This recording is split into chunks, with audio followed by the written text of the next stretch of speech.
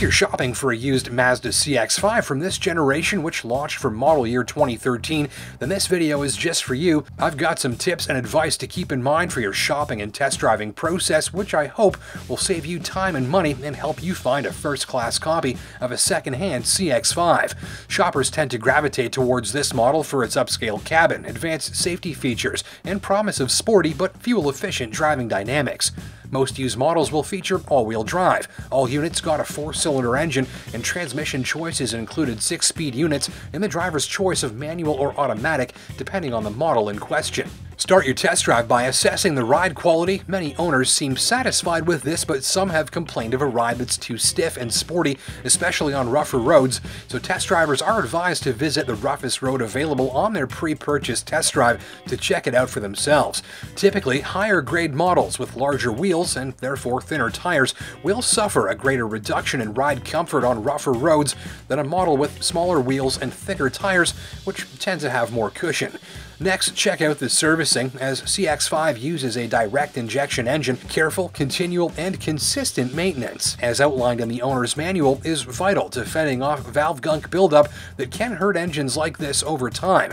Make sure the vehicle's past owners have strictly followed all maintenance and servicing requirements to the letter, as outlined in the owner's manual under the severe use schedule. You'll want to see documentation confirming that all oil changes have been completed on time using only factory-specified oil and Ditto the spark plugs. Be sure the seller has only fueled the vehicle with high quality gasoline from a reputable retailer at each fill as well.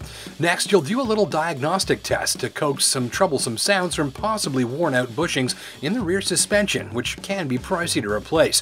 Where appropriate, place the vehicle in drive and lock it into first gear. Then repeatedly stab the throttle lightly about one third to one half of the way down as the vehicle rolls along at a low speed. Do this several times, ideally in an empty parking lot, and listen carefully for unwanted clunking or banging noises from the rear end.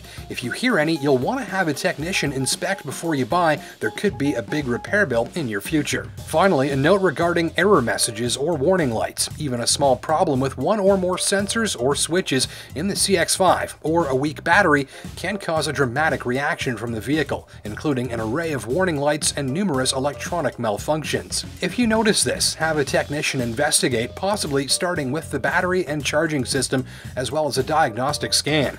These two steps can reveal and fix numerous annoying issues and prevent possible headaches. Well, that's it for this video, and for more information on this generation of used Mazda CX-5, including safety recalls and specs and more useful tips, click the link below for a full written used car buyer's guide on this machine. It's part of the largest collection of model-specific used car shopping tips on the entire internet over at autotrader.ca.